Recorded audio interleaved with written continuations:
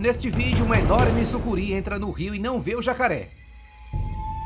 As sucuris entram nos rios principalmente para caçar e para acessar um habitat diferente.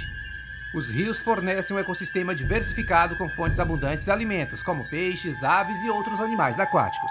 O jacaré se aproxima constantemente da cobra. A serpente não percebe a presença do perigo. O jacaré é um predador de emboscada habilidoso. Eles costumam ficar imóveis na água, principalmente submersos, apenas com os olhos e as narinas acima da superfície, tornando-os difíceis de detectar. Esse comportamento furtivo permite que eles surpreendam e capturem suas presas com eficiência.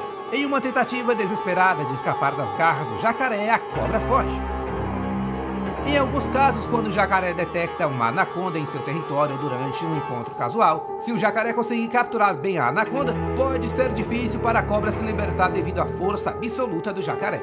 No entanto, a anaconda não é indefesa. Ela pode tentar usar suas habilidades de enrolamento e constrição para resistir e dominar o jacaré, mas o sucesso em tais encontros depende muito do tamanho e da força de cada animal e do elemento surpresa. A determinada serpente consegue fugir de seu predador, Comenta aí, você estava torcendo para quem nessa batalha animal?